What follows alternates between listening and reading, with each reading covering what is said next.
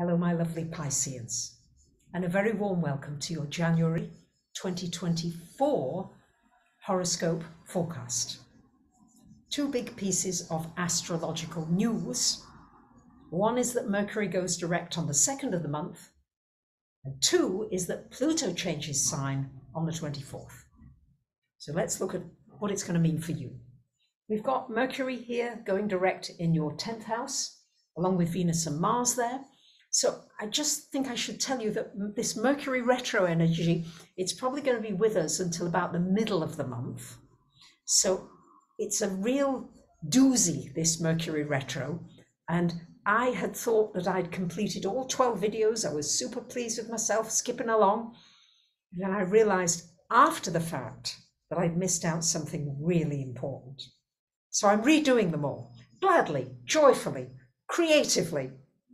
But if I can help you maybe to avoid that by suggesting that you double check, triple check your information with any kind of important project, you might save yourself from having to repeat it. This energy here in this 10th house, the quest for meaning, searching for more meaning. Why are you here? What are you doing? And you're getting ideas, you're getting thoughts you're getting indications. And you're also, Pisces, gradually coming out a little more. Slowly, slowly, you're being coaxed to come out of your cave more. On the 5th of the month, Mars comes into your 11th house. We're going to get a lot of action in this 11th house. On the 11th of the month, we've got a new moon. On the 14th, Mercury going into this 11th house. So a massive spotlight of planetary activation. What does it mean? The 11th house rules your friends, your social circle, the people who influence you, and the people you influence. Communities, a sense of soul, a wider soul family, and also your dreams and wishes. So all these areas are activated. Mars is about putting energy into your social networks.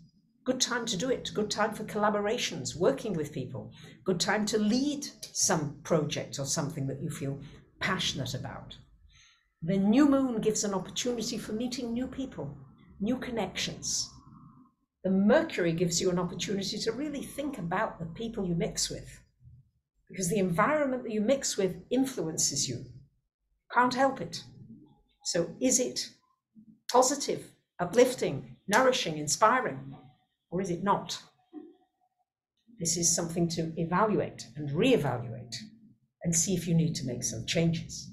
So, this is a really big area of focus, and it can certainly give you an opportunity to come up with new dreams, new wishes for yourself and also for the wider planet as we move into this new Earth frequency. On the 21st of the month, the sun coming into your 12th house, reminding you that solitude is important, peacefulness is important, and taking time out to recharge and revitalize your energy force will be very uh, positive for you. And this also takes you into the realm of the metaphysical and into the esoteric fields of astrology, numerology, all of these wonderful, fascinating areas. The big news on the 24th is that Venus comes into this 11th and Pluto will go into your 12th house, where it's going to stay for about the next 20 years. Let's take this first of all, this um, Venus. Venus in the 11th. This can bring you love relationships, love friendships, a friendship developing into a love, harmonious interactions, common interests, an understanding of other people. It, it, it just can bring peacefulness in all communications. And you may find yourself here teaching and sharing information with others, or you may be learning from them, or maybe a mixture of the two. And the Pluto, so 20 years, and it's usually most significant for the first year or two as it makes that shift. So Pluto here is really going to have you digging into the invisible realms. digging into that which is beyond the five senses and finding that there's so much power there in the divinity, in these higher cosmic frequencies. You can tune into them here.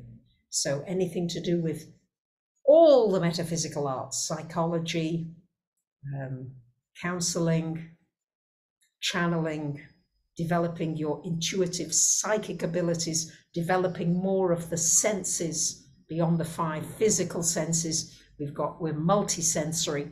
You may be exploring this. The area of healing, deeply exploring this and coming up with transformational information that may help only not only you but others. So this is an opportunity for deep transformation on many levels. And uh, you're going to need and want quite a lot of solitude along this journey. It's going to give you power. You're going to get it, and then you'll take it out. And you may find yourself involved in a very deep research project um, that might be connected with something that can transform people's health, the energy systems, the education, so many things. But this is sort of done in secret, and then later it comes out. There's a lot to say about it, but I'll do that in another video, but just giving you some tastes. And finally, on the 25th of the month, a full moon in your sixth house, and this shines a light on your health, your well being, making sure you're taking care of yourself. Are there changes you need to make to your diet, to your exercise, to the way you think about your well being? And there may also be a change in a work situation. It's a lot. It's a lot to take in. So let's see what your Pleiadian oracle card is. Beautiful Pisces for this month. And we've also, of course, got this Saturn Neptune in your sign all ongoing, which is about you making your dreams into reality. That's a, another theme. Here we go. And this is your card. Live today in wonder and joy. I think that says it. I don't think I need to say more words because it's a very Piscean frequency. You might want to get your own oracle deck from my website, yourastrologysigns.com. Thank you for liking, commenting, sharing, and selling. Bye for now.